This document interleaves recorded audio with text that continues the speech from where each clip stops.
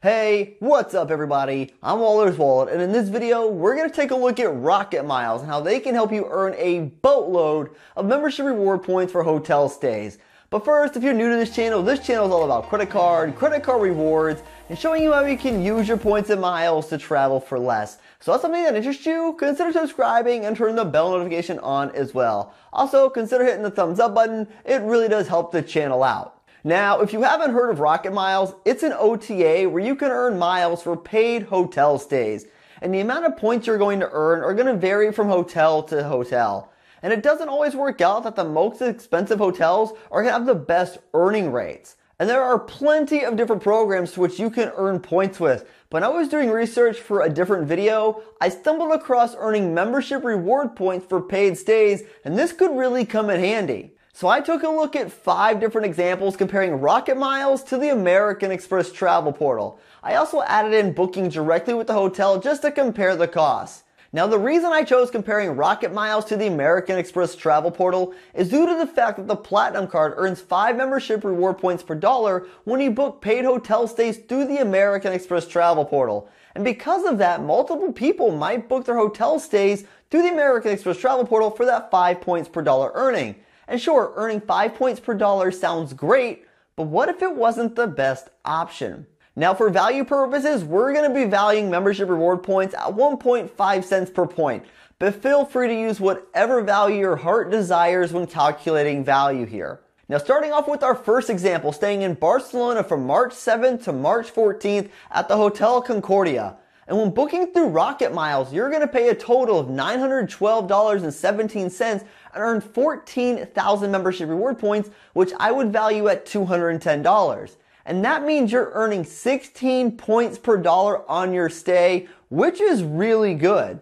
And if you were to book through the American Express portal, it'll cost you just over 972 bucks. And you're going to earn 4,860 membership reward points, when you were to book this hotel stay with your platinum card, and those points would be valued right around 73 bucks. And if you were to book directly with the hotel, it would cost you just over $892. And for some reason, American Express is so much more expensive than the other options.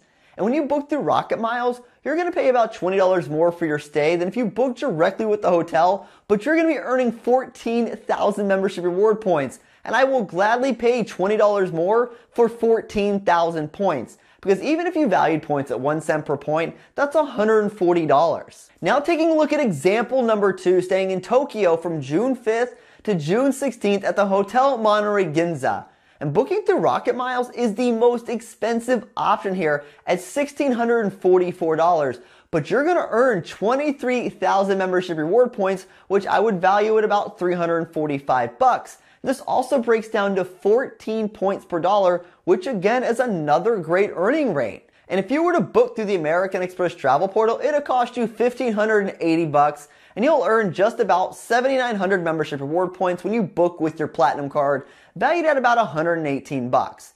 And if you book directly with the hotel here, it costs the least at 1539 bucks. But even with Rocketmiles being about $105 more than booking directly with the hotel, which I feel is quite a bit, you're going to be earning 23,000 membership reward points, which more than makes up that difference. And even if you value these points at 1 cent per point, you'll have earned $230 in rewards. And another way to think of this, 23,000 points is almost enough points to book a multi-city domestic trip using your Aeroplan miles. Now taking a look at our third example, staying in Bogota from January 17th to January 25th at the Bogota Marriott. And in this example, it's a little bit quirky and I'll explain why. Because when you book through Rocketmiles, you're gonna pay just over 1444 bucks, but you're gonna earn 22,000 membership reward points, and this would be valued around $330. And that means you'd earn 15 points per dollar just from Rocketmiles.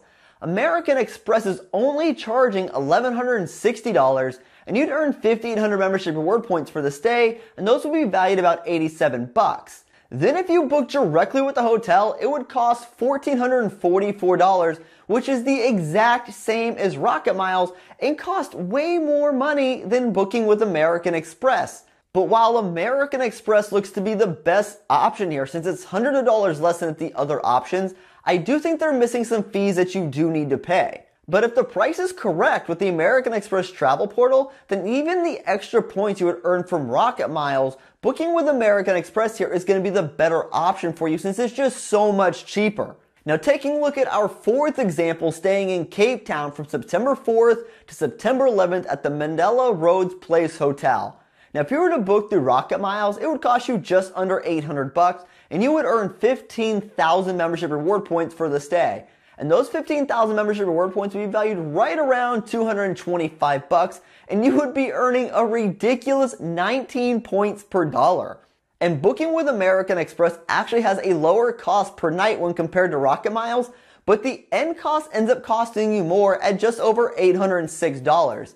And you would earn 4,030 points as well, valued right around 61 bucks. And booking directly with the hotel will cost you just a little over $800. And all of these prices are in the same ballpark, but not only is Rocketmiles the lowest cost option, but you're also going to earn enough points to book a short haul round trip ticket using British Airways Avios to fly on American Airlines. And in our last example, we'd be staying in Auckland from July 4th to July 15th at the Cordis Hotel. Now, when using Rocketmiles, it's going to cost you just under $1,600 for your stay, and you're going to earn 20,000 membership reward points, which would be valued right around 300 bucks which would be earning 12 points per dollar, which again is another fantastic earning rate. An American Express comes in a little bit cheaper than Rocketmiles at just under 1595 bucks, and using your platinum card, you would earn just under 8,000 points worth around 120 bucks.